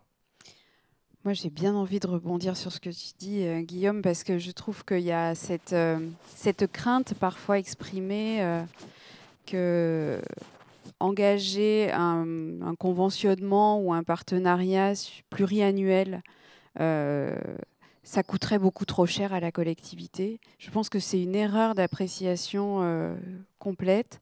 C'est qu'au contraire, ce serait un réel investissement, plutôt que ce soit des dépenses euh, qui euh, finance des one-shots. On investit sur un, projet qui fait sens pour un territoire et on, et on le soutient. Euh, pendant plusieurs années. Alors, il y a le principe de l'annualité budgétaire, ça, c'est pas un problème, c'est du, du, technique. Mais si on, s'implique sur plusieurs années, si les pouvoirs publics peuvent rentrer dans cette, dans cette dynamique-là, je suis je suis vraiment convaincue qu'on va être plutôt dans, Je ne dis pas que ça coûtera moins cher, mais ça ne coûtera pas plus cher. Ça, c'est certain. après, je, voilà. Et, je trouve que il y a bien une militance qu'il faut avoir. C'est celle-là, parce qu'elle est, elle est vectrice de sens, elle est vectrice de maillage territorial et elle est vectrice de. Il n'y a, que des retombées positives à mm. l'idée de devoir euh, soutenir plutôt des partenariats plus, pluriannuels que, comme tu le disais et, le, dénonçait euh, Julie, la, la question de la course aux appels à projets qui ne sont pas des appels d'offres, mais qui pourraient en être en fait. Donc euh, voilà. parce qu'il y a cette notion d'engagement qui fait partie du projet, je trouve. Hein. C'est, euh, et, euh, et, là, effectivement, avec les appels à projets, on est loin de ça. Oui, question d'engagement et, aussi question d'interconnaissance en fait entre les différents acteurs de ces projets. La relation. Voilà, on en revient à ce qu'on. Parce que que les projets soient. Dont vous parliez au début, la relation. Peut-être que Clémence peut nous faire part du témoignage de Denis euh, qui abonde complètement euh, ce que vous dites. Donc euh, Guillaume, bah, ce que tu disais sur le, le temps de l'artiste est accueilli très favorablement en ligne comme on dit. Euh, donc, euh, donc, par exemple, Denis Cointe nous fait part euh, d'un projet qu'il a mené avec la compagnie Translation, la création d'un jardin à la maison d'accueil spécialisée, la masse du Barail à Mérignac, en disant que durant le confinement, le, le, jardin a pris une nouvelle dimension pour les résidents et les équipes professionnelles. C'est devenu encore plus qu'avant un lieu de ressourcement, de liberté et de possibles rencontres avec les familles notamment. Et il dit qu'en fait, la présence des artistes n'était pas indispensable lors du confinement, puisque c'est ce qu'ils avaient créé euh, avec les personnes qui finalement a continué euh, à, à essaimer, à agir, euh, à porter ses fruits. Donc il dit peut-être faut-il encore plus qu'avant construire ces espaces de liberté. Et je trouve ça très intéressant, puisque ça va encore une fois dans le sens de ce que vous dites. Hein. Avec ensuite, sur cette question de la construction, on a une question de, Félicie Legrand, qui est chargée de projet champ social handicap au FRAC Nouvelle-Aquitaine. Euh, qui demande, en tant que structure culturelle, comment se projeter, avancer et construire avec les partenaires de la santé dans des projets qui auront lieu dans plusieurs mois. Il ne faut pas se projeter seul, c'est-à-dire pour pouvoir se projeter sur, un, sur une coopération, il faut euh, réussir à, trouver un moyen d'être euh, avec les professionnels de la santé et de pouvoir se projeter ensemble. Donc bah ça, c'est une des missions du mmh. pôle culture santé de pouvoir créer ces espaces où on se retrouve et, on, et on discute et on essaye d'inventer le demain en se rappelant le hier ensemble. le, alors, pour le moment, et, Félicie le sait certainement, on, a, une date qui est demain où on, va, on propose aux sociétaires de la coopérative, et je sais que Félicie euh, Lefrac ne fait pas partie du sociétariat, donc euh, c'est pour ça qu'elle elle, n'est pas conviée, mais euh, dans un cercle un peu restreint des sociétaires, on propose qu'il y ait un échange pour déjà partager bah, un peu comme ça ce qu'on a traversé et ce vers quoi on pourrait aller. Euh, mais après, il y aura de toute façon des temps euh, qui continuent d'être euh, programmés pour le pôle de réunion d'infos et d'intelligence collective où on va pouvoir essayer de, de, réfléchir à la question de cette projection, de, de comment on, refait partenariat Covid compatible, on va dire. Voilà. Très bien. Est-ce qu'on a d'autres réactions?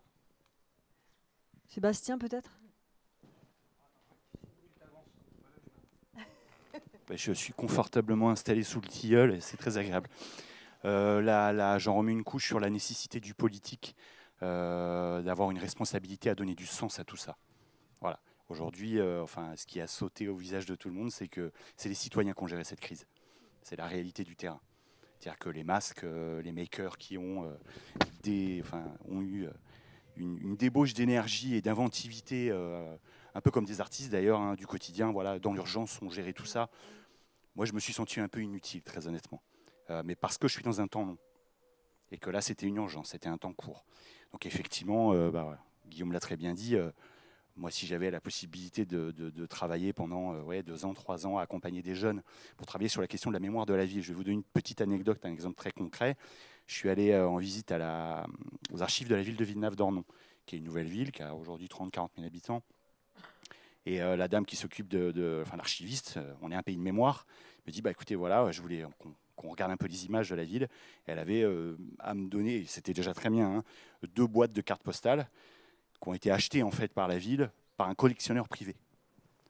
Et aujourd'hui, donc cette ville qui est en perpétuelle évolution, qui est une ville nouvelle, ne se questionne pas sur elle-même, sur son évolution. Et c'est des jeunes mineurs isolés, issus de pays très différents, du Kosovo, du Cameroun, qui vont avoir un regard sur cette ville-là.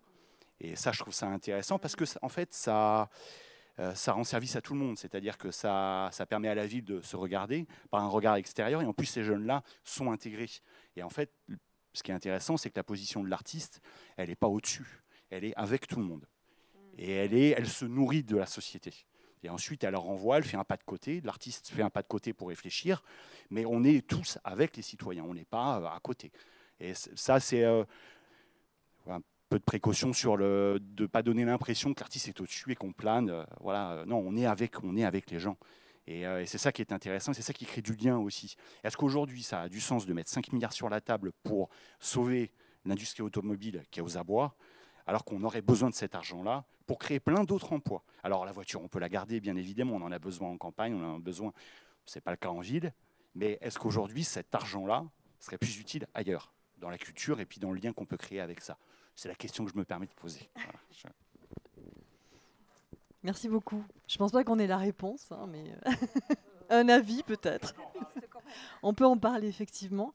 Mais c'est vrai que de remettre l'artiste et les acteurs culturels au cœur de la, de la société, des lieux aussi d'accueil hein, des personnes en situation de fragilité. Moi, je rejoins Alexandra sur l'idée, euh, et Denis aussi, de, de, comment on investit ces lieux finalement que ce soit des maisons d'enfants à caractère social, des maisons départementales de la solidarité, des hôpitaux, voilà, ou des lieux où il y a de la vie et où on est, on est, euh, où on doit être euh, aussi très présent, nous acteurs de la culture, mais peut-être inventer finalement des autres formes et des modes de, médiation différents, en tout cas dans une temporalité euh, qui change.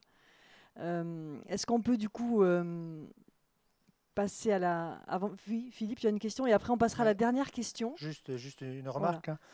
Euh, effectivement, c'est important de, ne pas lâcher, hein, d'interroger le monde. Mais euh, un des enjeux de l'EAC, de la médiation, ça a été dit sans doute, c'est dans le cadre de ce contexte de, crise sanitaire et de, post-crise, de surtout pas lâcher non plus. Euh, l'envie de travailler ensemble, l'énergie que les communautés sociales, enseignantes, de médiation euh, peuvent générer pour poursuivre le travail de médiation, alors avec des, personnes en situation de fragilité, mais plus globalement sur la question de l'éveil culturel. Euh, il y avait cet article il y a quelques semaines dans le Télérama hein, qu'on avait pu parcourir, où on se rend compte de euh, de l'impact très concret que ça a pour les gamins, pour les personnes en général, dès lors qu'elles sont plus en contact de l'art et de la culture ou en interaction sur un objet culturel et qu'on se concentrerait euh, pour des raisons qu'on peut comprendre sur les missions euh, principales de base de la santé, du social, de l'éducation, et de ne plus entrer, comme tu le disais, Alexandra, en coopération sur, sur la façon dont la culture est aussi un levier de, de, structuration de la personne et, qui fait son, travail de lien social, évidemment, euh, sans parler de réparation, on n'a pas du tout là-dessus, mais euh, d'ouverture de, de l'esprit, d'ouverture au monde, euh, il y a un risque, il me semble, que du fait de la très grande complexité, on a pu le vivre au niveau de la remise, en, fonction des collèges, des classes, du périscolaire. Et cet été, on ne sait pas comment ça va se passer. Je ne parle même pas des structures de santé,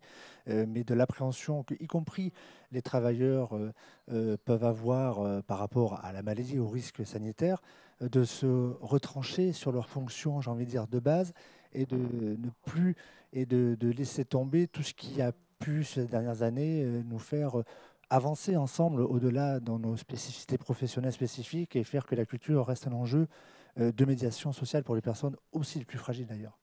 Euh, évidemment, je, pense aussi au travail dans les maisons d'enfance à caractère social au niveau du département, mais pas seulement. Quoi. Merci. Peut-être Clémence, une petite ressource? Euh, donc ça fait le lien avec euh, ce qu'a dit Philippe, ce qui a été dit juste avant. Euh, c'était vous, vous relatez une expérience parmi tant d'autres hein, qui ont été mises en place par les acteurs opérateurs de la culture. donc le, la scène nationale de la Criée à Marseille qui a mis en place durant tout le mois de juillet une, une, opération, si on peut l'appeler ainsi, qui s'appelle Rêvons au théâtre, avec euh, tout un programme d'ateliers pour rencontrer euh, différents métiers du spectacle vivant, aussi bien euh, techniques que artistiques. et c'est dans l'idée en fait de toucher les habitants qui sont proches du théâtre et qui n'y viennent pas forcément. Donc ils ont accueilli aussi bien des, enfants que des jeunes travailleurs, que des personnes qui sont dans des situations d'isolement, que ce soit parce que ce sont des, des, personnes qui sont primo-arrivantes sur le territoire, des jeunes adultes sans qualification qui sont sortis du système scolaire. Euh, donc l'idée, c'était euh, de, bah, d'ouvrir quand même euh, le théâtre et de créer quand même des espaces de rencontre, de créer des passerelles entre ces différentes personnes que peuvent être à la fois les artistes, les techniciens du spectacle. Et, et visiblement, c'est, pour une expérience très enrichissante puisqu'ils pensent reconstruire leur saison. Euh, leur saison encore prochaine, hein, la 21-22, euh, en, s'ancrant encore euh, davantage sur, sur le territoire.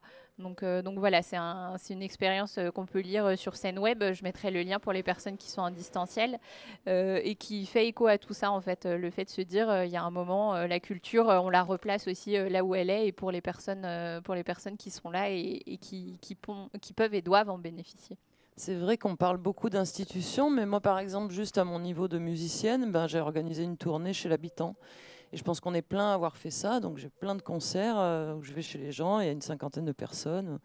Et, hum, il y a un petit festival qui est complètement privé, mais qui deviendra certainement un festival qui se monte à Barsac, qui s'appelle Libre Cours, où là, c'est des, des, chanteurs lyriques, et donc c'est du chant d'opéra. Pareil, on a un public qui, vient, ça a lieu tous les samedis soirs, sur réservation, c'est dans un jardin, donc ils, respectent les mesures de sécurité, mais attention. Voilà. Euh, ça ne nous empêche pas non plus de faire. C'est vrai qu'on parle beaucoup de l'institution parce qu'il faut que l'institution bouge et que c'est plus dur de faire bouger une institution et le politique. Et, mais euh, à notre, au petit niveau de, d'être euh, sur le terrain, euh, on peut effectivement faire des ateliers à Périns dans la, dans la cour, euh, comme on est en train de faire là. Du coup, est-ce qu'on peut enchaîner dernière partie de notre summer camp sur cette dernière question en fait? Alors on a, on a évoqué déjà beaucoup de choses, hein, mais finalement, si on se projette dans le futur proche, qu'est-ce qu'on pourrait, quelle serait la priorité peut-être à mettre en œuvre? Puisque finalement on, s'est dit qu'il ne fallait pas forcément tout réinventer. Mais euh, qu'est-ce qui, pour vous, euh, serait assez essentiel euh, à développer, à, expérimenter? Et si vous avez des idées, bien sûr.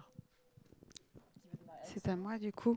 alors, dans la fonction qui est celle du pôle, c'est-à-dire pas forcément de, porter directement des projets sur le terrain, hein, mais plutôt d'être au service de celles et ceux qui les portent pour moi, l'urgence vraiment, enfin, là où il faut que le, la SIC Culture Santé euh, euh, ne faiblisse pas, c'est justement sur la question de la recherche et sur la question de euh, la de, notre rôle euh, où on est à l'interface de la société civile et des pouvoirs publics. Et c'est précisément en ayant une, euh, un travail de recherche et de développement musclé et euh, pertinent en prenant le temps d'analyser vraiment ce qui s'est passé, ce qu'il se passe, ce qu'il pourrait se passer, et en dotant justement les acteurs du terrain d'arguments et d'outils euh, qui sont des, résultantes d'une dynamique de recherche et de développement, alors là, on pourra, je l'espère, jouer notre rôle euh, d'outils d'appui sur euh, la construction de, de, de politiques publiques et d'outils d'appui au service des acteurs d'un territoire. Donc il me semble que c'est plutôt à cet endroit-là que le pôle culture et santé a à se, à, se positionner, sans faiblir non plus sur tous nos dispositifs et nos inventions et nos innovations en ce qui concerne la formation des acteurs à la coopération spécifique à ces enjeux de culture et santé, mais aussi à l'accompagnement euh, de, de, ces, euh, de ces professionnels. Donc déjà en prenant le temps aussi d'écouter de, à quel point les professionnels, notamment du secteur sanitaire et médico-social, sont vraiment épuisés là par cette crise. Donc prendre le temps d'écouter ça et de voir toujours sans précipitation comment on peut euh, peut-être dans un premier temps leur proposer des espaces de ressourcement pour eux-mêmes avant de pouvoir penser à leur fonction d'accompagnant pour des personnes en vulnérabilité, parce qu'aujourd'hui, ils sont eux-mêmes en vulnérabilité. Donc c'est peut-être à cet endroit aussi que le pôle va pouvoir jouer un, rôle, en tout cas c'est ce, sur quoi on, on, a envie de, travailler, la formation et la recherche. Euh, pour nous, en fait, c'est euh, ben voilà, c'est hier, aujourd'hui, demain. On va questionner euh, le temps, revenir sur ce qui s'est passé. Est-ce que vraiment c'est quelque chose qui a transformé ou est-ce que, comme tu le disais tout à l'heure, est-ce qu'on a vraiment envie de partir sur un modèle qu'on nous a quelque part imposé ou est-ce qu'on a envie euh, euh, de d'échanger, de, se questionner sur ce, qu'est la culture, ce qui fait culture, ce que l'espace dédié à la culture et aux artistes dans, dans, la société, le temps, prendre le temps de la relation. Parce que tout à l'heure, on disait, on, échangeait sur ben, comment reprendre finalement dans des structures de soins ou structures sociales, bah, c'est la relation qui fait qu'on peut reprendre, euh, euh, comme quand on retrouve quelqu'un qu'on n'a pas vu depuis longtemps et avec lequel on avait euh, une relation, et on reprend comme ça cette relation, même si elle ne s'est jamais arrêtée. Mais c'est prendre le temps de la rencontre et de la relation, et c'est questionner, revoir un peu, s'inspirer de ce qui de ce que l'on a vécu, de ce que l'on vit, et puis se projeter, se projeter, c'est imaginer en fait ensemble, hein, et, puis vivre pleinement le présent aussi. Hein, ça c'est chaque temps dans les projets aussi. Hein, parce qu'on nous demande souvent de nous projeter et puis d'envisager toutes les étapes des projets, mais se poser et vivre le temps. voilà, mais on va faire ça en lien avec les artistes, avec des travailleurs sociaux, avec des soignants qui effectivement sont un peu euh, épuisés. Et puis pour ce qui est du, euh, du public, on a, euh, on a du public, j'entends, qui vient dans la structure. Ben, on leur a envoyé des petits messages. Pour ce qui est des voisins, on a, nous nous sommes relayés au Krakatoa pour que les portes soient un peu ouvertes. L'idée, c'était pas de se dire encore une fois, on est là, on est toujours là, mais c'est de dire, on est là, oui aussi, nous aussi. Et puis on a mis des petits messages sur les, sur la façade pour bah, pour adresser des messages à l'autre. Voilà. Julie, tu veux ben, compléter? je, je, vais dans le même sens. Euh, on, a le danger, je pense, euh, artiste, d'être dans un endroit tellement précaire qu'on pourrait tomber dans le, dans le panneau de l'urgence et de répondre vite, quoi, à la moindre demande, parce que ben, parce qu'il faut qu'on gagne un peu de sous, parce que mais du coup, je vais dans votre sens que bah, il faut qu'on réussisse à prendre le temps, à dire non à certaines choses parce que c'est de l'urgence et que c'est pas. Et donc continuer à construire euh, en réfléchissant, en pensant ce qu'on fait et, sur la longueur, quoi. Donc ne pas céder à, à cette euh, euh, parano et inquiétude qui, qui, qui plane. Direction. Merci. du coup, juste euh, deux petites choses euh, euh, par rapport au parcours santé. moi, je voudrais rajouter le terme de solidarité, puisque vous parliez de précarité. Donc, le choix qu'on a fait au sein de l'association, c'est de prendre ce temps-là pour retravailler le pôle culture, art et santé, ce qui a permis de consolider des choses. D'abord, euh, euh, bien, euh, bienfaisance au sein de l'équipe, puisque l'équipe a été extrêmement affectée, puisque nous avons aussi un CHRS. Enfin voilà, on est quand même dans, le milieu social et sanitaire et social. Et du coup, ça a été, la première chose, c'était que je, demande des temps de sophrologie. donc ça a commencé par ça, du bien-être au sein de l'équipe parce qu'effectivement, une tension permanente pendant le confinement, à se dire est-ce qu'on va trouver une réponse à, à ces difficultés qui sont euh, exacerbées dans un environnement clos, puisque 6 000 habitants, hein, ce n'est pas, c'est rien. Enfin, voilà, c'est vraiment très très petit. Et puis, et puis la question politique, puisque je vous ai dit que je partageais ma vie entre là-bas et, et, ici. Donc moi, je suis de Bègle et je suis nouvellement élu sur la ville de Bègle. Et du coup, cette question du sens et de la transversalité, puisqu'on parle aussi de cette transversalité, qu'il faut un village pour élever un enfant. Finalement, j'ai envie de dire, il faut plusieurs acteurs pour élever un enfant. Donc du coup, et de manière intergénérationnelle, hier, on a eu euh, le, premier summer camp et on en est euh, très fiers à, Bègle, dans un lieu euh, qui est un écosystème intergénérationnel, artistique, chapiteau. Donc c'est un premier, un, premier pas, c'est un projet de longue haleine qui a, qui a vu jour pendant le confinement, mais qui, donne ce sens-là, en fait, de la place de la culture accessible à toutes et à tous, comme outil, comme euh, matière, comme euh, donc voilà. Donc il y, a un échange là entre artistes et, euh, de manière intergénérationnelle, les personnes qui sont les plus éloignées ou qui sont aussi affectées par des problématiques de santé. Donc cette question-là, elle de, citoyenneté, la culture doit être dedans, en fait, plus comme quelque chose de connexe ou ou de périphérique ou, euh, ou qu'on regarde ça comme un élitisme pas accessible, puisqu'il y a tous ceux qui travaillent à, dire euh, non, la culture, euh, c'est une émotion, ça nous appartient, mais c'est aussi un savoir-faire et c'est aussi un accompagnement. Pour révéler, puisqu'on parlait de, quelque chose qui, qui, monte, moi j'aime bien le terme de révéler, révéler des talents en fait, des talents en tant que soi. Voilà. Donc ce travail politique, il est en train de, avec ces nouvelles équipes sur le territoire, sont euh, voilà, sachez que vous avez des militants politiques autour de cette question-là, euh, euh, de l'art, de la culture, de la santé, de la proximité, de l'accessibilité, et au service des citoyens et des citoyennes, au plus près des quartiers, comme aussi déambulation, puisque Bègle, c'est le cirque, c'est le nomadisme, puisqu'on va vers les gens, et après pour amener les gens vers, vers nous. Donc il y a vraiment cette question qui est centrale, et on est fiers de pouvoir continuer sur ce travail-là, et la nouvelle équipe y est très attentive. Enfin voilà, en tout cas, je voulais donner au moins cette cet axe un peu plus politique. Voilà. Merci beaucoup. Guillaume Oui, oui, je me permets donc de rebondir et justement et de, de, de, dire deux mots sur le, sur le projet qu'on est en train de mettre en, place avec l'association Script et Jean-Paul Ratier à Bègle, justement, euh, et, cette question du voisinage. Et, et euh, donc, on, va effectivement, et je m'en félicite et, je remercie euh, la ville de Bègle, signer une convention pluriannuelle, puisqu'elle va être jusqu'en 2022.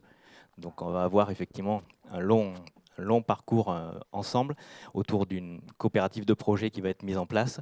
Euh, et, on va travailler ensemble à faire vivre ce projet, qui est un projet, alors en deux mots très succincts, on est en train de le préparer dans sa première phase de conception. Et je reviendrai après sur, ces questions-là aussi par rapport à la question de la recherche et de la manière dont on devrait envisager l'artiste comme un chercheur en fait. Et euh, on est en train de préparer ça. Et du coup, l'idée toute simple, c'est de, se dire, euh, et on, l'a vu pendant le confinement, que un des premiers rapports qu'on a eu avec l'extérieur, c'était ses voisins. On a redécouvert son voisinage, en fait. Et euh, on s'est dit avec Jean-Paul Ratier, ça fait un petit moment qu'on était en train de travailler sur ces questions-là, mais en fait, euh, il y a beaucoup d'artistes qui sont nos voisins. Et l'idée du projet, c'est mon voisin est un artiste. Et l'idée, c'est qu'on aille à la rencontre, en fait, territoire, quartier par quartier de Bègle, à euh, la rencontre des artistes qu'il y a sur le territoire et de les amener dans une déambulation et à leur proposer de travailler avec leurs voisins et de les inviter à venir déambuler avec eux dans la ville, vers les lieux culturels de la ville de, Bègle, et euh, de faire ça au fur et à mesure pendant trois années et de découvrir le territoire, de découvrir les initiatives euh, du territoire, de découvrir euh, tout ce qui peut se passer. Et on n'a pas de prérequis ni de préconçu. On va faire ça au fur et à mesure, même si effectivement au départ on va proposer un certain nombre de, de protocoles de travail, de rencontres on veut que ça se développe comme ça et que ce soit la rencontre de voisins en maison, de maison en maison, jusqu'au euh, musée de la création franche, jusqu'à la bibliothèque, qui fasse que ça déclenche des choses sur le territoire et découvrir tous les artistes qu'il y a sur le territoire et toutes les, les, actions, on va dire, euh, de, création au sens large. Est-ce que effectivement, euh, au, quotidien, peut être le travail d'un artiste l'artiste, bah, c'est un artiste, mais c'est aussi, comme le disait Sébastien, on est comme tout le monde, on est un voisin. Donc qu'est-ce qu'on fait hein, et qu'est-ce qu'on peut proposer en tant qu'artiste voisin à son voisin de faire très simplement, sans, forcément de débauche formelle, ou, mais dans des actions de partage, de regard hein, différents sur ce qu'il y a autour de soi et sur son territoire local en fait. Le circuit court. Voilà, le circuit court, hein, exactement. c'est notre géographie. Le circuit court et le circuit lent. L'idée, ça sera de faire des déambulations, mais euh, pas de courir tout droit, mais de zigzaguer un peu dans, dans la Mais en même temps, c'est un voyage au long cours, quoi. Mais tout à fait, voilà. Et, euh, et, et, une autre question, donc, euh, puisqu'Alexandra posait la question de, de ce positionnement de la que, que sa structure est en recherche, la question de la reconnaissance de l'artiste en tant que chercheur, en fait, et, du coup de son statut qui, qui, peut être mis en avant dans, dans, la société, dans la manière dont il peut faire avancer les choses, en fait. Donc c'est très très important. Et en fait, euh, dans la manière dont on propose de travailler aux artistes, c'est toujours euh, un travail sur de la production, sur euh, du concert, sur, et on les paye pour ces moments-là, qui sont des moments effectivement très importants. Mais en fait, l'artiste n'est pas reconnu dans le travail qu'il fait en amont, qui est 80% de son temps de travail. Et comment est-ce que, effectivement, à un moment donné, euh, le politique, euh, les collectivités euh, territoriales peuvent s'emparer de ces questions-là pour que la précarité des artistes, c'est leur quotidien en fait, pour que justement ce temps de travail, de recherche permanent que fait l'artiste soit reconnu et soit effectivement élevé au niveau d'un statut qui soit reconnu et qui soit effectivement financé à hauteur de ce que les artistes euh, travaillent. Absolument. Moi j'ai très envie de rebondir, je suis tout à fait d'accord avec ce que tu dis, mais je vis avec un chercheur, dis donc. J'ai une chanson qui dit Mon mec est un chercheur d'ailleurs. Et euh, il est chercheur au CNRS. Et j'ai compris euh, avec le temps que sa recherche était d'autant plus intéressante qu'il ne répondait pas à des politiques et qu'il ne travaillait pas sur commande. Donc en fait, il avait l'esprit libre pour pouvoir aller chercher là où il doit chercher. Du coup, euh, c'est quand même paradoxal hein, de trouver un, système pour que l'artiste soit... Mais je suis bien d'accord avec toi, moi je me sens chercheuse. SE. Peut-être pour compléter ce que, ce que tu dis, Guillaume, c'est euh, revenir aussi sur ce dont on parlait tout à l'heure, sur euh, des conventionnements sur euh, du long terme ou du moyen terme, enfin pluriannuel en tout cas, qui du coup euh, permettent d'intégrer dans l'économie d'un projet de territoire ce temps de recherche. C'est-à-dire que quand on est sur un conventionnement à 2-3 ans, la question ne se pose plus si le temps de l'ingénierie, le temps de la recherche, le temps de la conception, le temps du faire et puis le temps d'analyser ce qu'on a fait pour réajuster comment on referait mieux demain ou moins. Tout ça, ça se pose plus, c'est l'économie globale du projet pluriannuel. Et du coup, aux acteurs après qui portent euh, le projet et aux partenaires publics qui le financent de euh, d'estimer cette enveloppe. Mais euh, il n'y a plus cette phase où on ne va payer que l'action, et puis, il va falloir trouver d'autres crédits pour payer euh, le temps de la conception de l'action. Et puis, d'autres crédits pour payer euh, comment on valorise l'action ou comment on va l'évaluer. Mm. Et si on part sur un partenariat euh, pluriannuel, alors du coup, l'enjeu, c'est de tout brasser dedans, tout embrasser. Et là, la question de la précarisation de l'artiste, ça ne se pose j'ai pas envie de dire qu'elle se pose plus, mais elle se pose moins, absolument. Mm. En tout cas, elle est travaillée et elle est intégrée dans le mode projet. Donc c'est, euh, enfin, bravo Bègle pour, euh, pour aller sur ce genre de, de partenariat, parce que c'est un pari euh, qui, qui, méritera d'être, d'être nommé et d'être... il faudra se donner rendez-vous dans trois ans pour, pour savoir comment ça a porté ses fruits. Mais, Et en même temps, tous ces, ces chemins de financement multipliés, finalement, prendraient ne prendrait pas autant de place dans les projets, en fait. Mm. Hein On a une question Karine Moi, je, voulais poser une question. Présente-toi peut-être. Karine Châtelier, donc je suis conseillère culturelle euh, au département sur les territoires Haute-Gironde-Libournais. Euh, la question, vous êtes en train de l'amener parce que je ne la voyais pas euh, encore, donc en fait, vous êtes en train d'en parler. Il y a plusieurs choses. D'abord, ce que je ressens, c'est que vous avez réussi aussi bien à rester dans la création et dans le lien, parce que vous êtes inscrit dans des partenariats, tous les artistes n'ont peut-être pas cette chance et vos projets l'ont illustré. Vous avez réussi à apporter des propositions dans les structures médico-sociales parce que vous étiez connu. D'autres structures médico-sociales ont fait des demandes sur des territoires. Les artistes ont répondu. Et effectivement, on fait des propositions artistiques euh, en dehors de l'établissement pour les personnes âgées, handicapées, sans être rémunérées, parce qu'effectivement, vous êtes avant tout toujours dans l'humain et dans la réponse à l'autre. Et l'axe économique, je ne le voyais pas dans vos échanges. Et je sais que c'est quand même aussi votre plus grande problématique, cette reconnaissance économique. Effectivement, euh, les euh, contractualisations peuvent répondre à un besoin, mais ce que j'ai ressenti, moi, dans cette période, c'est que et puis vous l'avez abordé à un moment, les personnels soignants aujourd'hui sont épuisés. Les artistes peuvent apporter cette soupape, mais effectivement, ils ne peuvent le faire que si la direction le valide et leur décharge du temps de travail. Euh, nous, sur les appels à projets l'un et l'autre, on le sait, on a dû le suspendre. Les artistes étaient prêts à faire plein de propositions. Et effectivement, hum, l'économie dans la structure qui est un partenariat, un conventionnement, c'est un besoin des deux côtés. Mais ce, entre guillemets, one-shot qui était quand même une nécessité humaine, euh, à un moment donné, ça faisait partie aussi d'une économie qu'il fallait évaluer et qui est peut-être nécessaire encore à avoir dans la recherche et l'évaluation face à des expérimentations qui se sont menées. On l'a eu sur Demos, on a vu sur Demos des choses extraordinaires qui se sont faites par l'artiste qui a innové en support technologique qui a permis de faire euh, appréhender à l'éducation nationale la fracture numérique dans laquelle étaient ces gamins.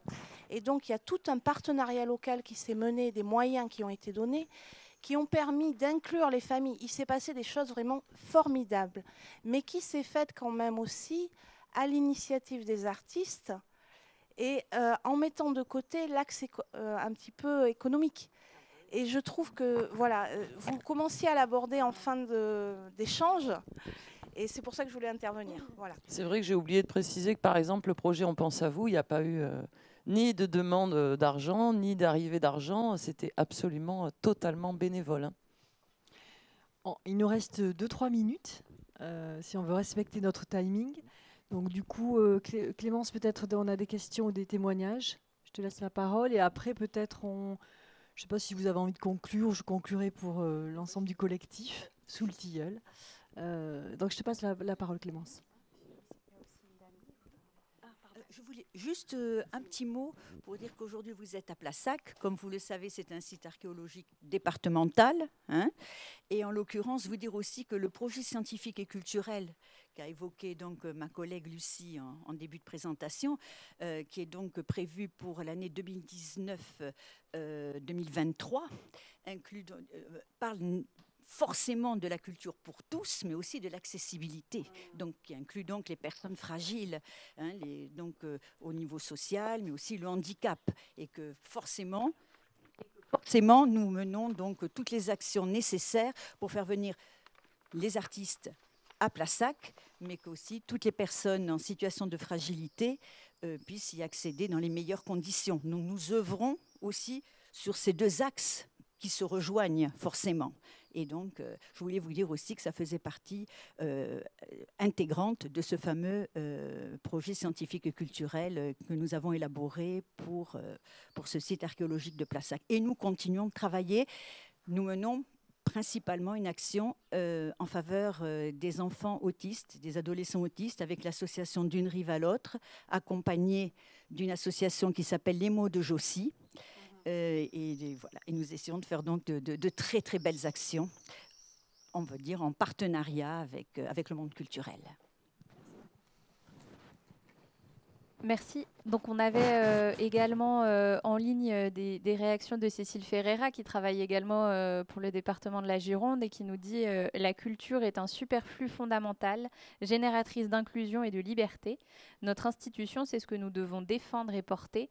Et donc elle évoque justement le dispositif l'un et l'autre qui vise à favoriser l'accessibilité aux lieux et aux pratiques culturelles pour les personnes en situation de handicap. Euh, et toujours sur cette question bah, de la place de l'institution que, vous avez tous évoquée, euh, et notamment euh, Sadia qui est donc élue à la ville de Bègle, Dasquet d'ailleurs qui, donc pour info, réalise aussi la, la, captation de, de, nos summer camps.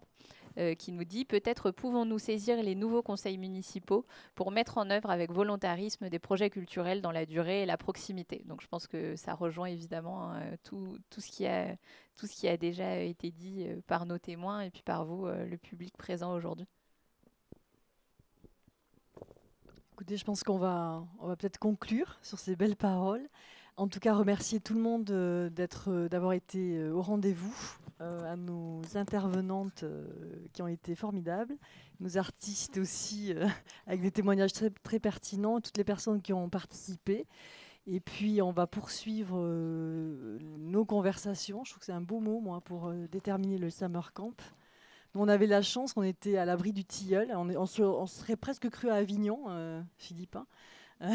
finalement. Oui, c'est pas faux. Hein. C'est vrai que c'est un petit côté finalement festival. Et puis en plus demain, on se retrouve également au domaine de Certes, hein, donc euh, sur euh, sur la commune de, de Audange, hein, euh, sur le bassin d'Arcachon. Donc c'est vrai que c'est pas désagréable non plus. Et puis ça nous permet également de découvrir des, des hauts lieux de la Gironde, puisque même la villa gallo-romaine de Plassac, je ne suis pas sûr qu'on la connaisse si bien que ça en Gironde.